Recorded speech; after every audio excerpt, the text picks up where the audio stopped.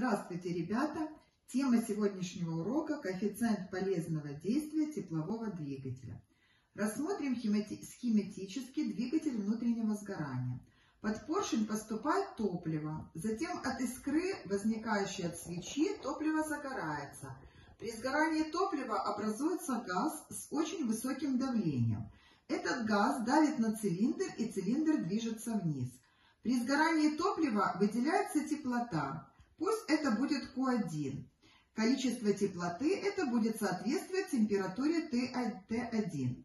При сгорании топлива образуется газ, который расширяется и толкает цилиндр вниз, поэтому объем увеличивается, газ, совершая работу, охлаждается. Соответственно, температура Т2 будет намного меньше, чем Т1. И после того, как поршень уйдет вниз, у газа под поршнем будет количество теплоты Q2, которое будет также меньше, чем Q1. И изменение количества теплоты это можно выразить как дельта Q. Оно будет равно Q1 минус Q2 и идти на совершение полезной работы. Итак, Q1 – это количество теплоты, полученное от нагревателя. Q2 – это количество теплоты, отданное холодильнику. Q1 больше, чем Q2. Всегда больше. Найдем коэффициент полезного действия. Он будет равен отношению полезной работы к количеству теплоты, полученному от нагревателя. Так как коэффициент полезного действия измеряется в процентах, мы наше отношение умножим на 100%. Давайте вместо полезной работы подставим значение для дельта Q. Получим еще одну формулу для коэффициента полезного действия э, нашего двигателя.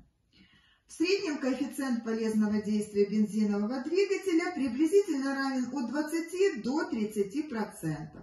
Коэффициент полезного действия, например, дизельного двигателя может доходить до 40%.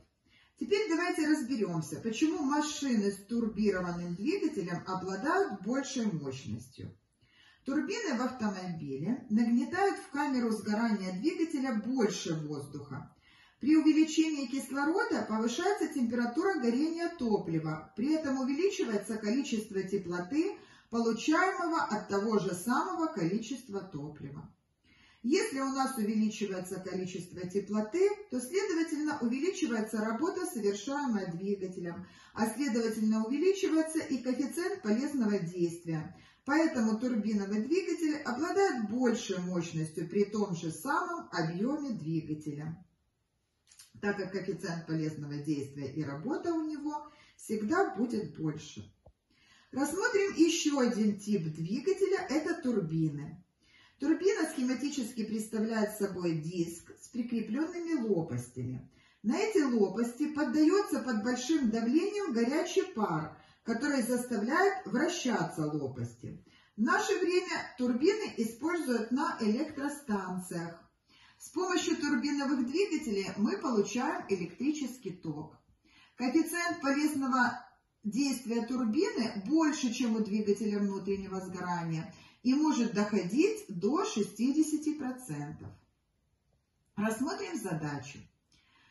Нагреватель отдает 120 килоджоулей теплоты. Тепловой двигатель совершает работу 30 килоджоулей найти коэффициент полезного действия теплового двигателя. Итак, если нагреватель отдает количество теплоты, то это нам дано Q1. Запишем формулу для коэффициента полезного действия. Подставим значение, которое у нас все есть в дано. И рассчитаем. Мы не будем переводить килоджоули в джоули, так как при делении приставка кило сократится. При расчетах получим коэффициент полезного действия равен 25%. Задача 2.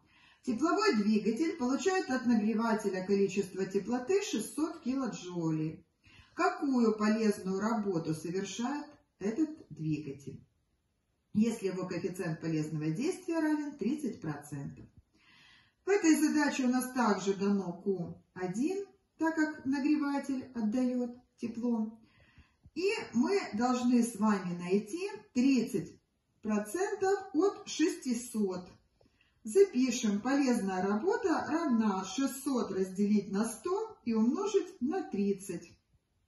Рассчитав все эти значения, мы получим, что наша работа равна 180 килоджоулей. Кило, так как мы не переводили количество теплоты в джоули. Поэтому в ответе у нас тоже будут килоджоули. Задача 3. Какое количество теплоты получил тепловой двигатель от нагревателя за 1 час, если его полезная мощность равна 2 киловатта, а коэффициент полезного действия 20%? Мощность двигателя равна отношению полезной работы ко времени. Из этой формулы мы можем найти полезную работу. Полезная работа у нас будет равна произведению мощности на время. Переведем время в секунды. В одном часе 3600 секунд, а киловатты переведем в ватты. Получим 2000 ватт. Затем подставим наше переведенное значение в формулу и получим вот такое большое число в джоулях. Давайте переведем его в мегаджоули. Отсчитаем 6 единиц, поставим запятую. У нас получилось 7,2 мегаджоуля. Теперь запишем формулу для коэффициента полезного действия.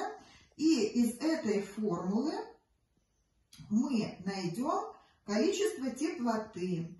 Q1 у нас будет равно отношению полезной работы к КПД. Подставим все наши значения, мы получим число в мегаджоулях, так как работу мы нашли в мегаджоулях, получили 36 мегаджоулей. На сегодня это все. Формулы и задачи запишите себе в тетради. Желаю успехов. Всем пока!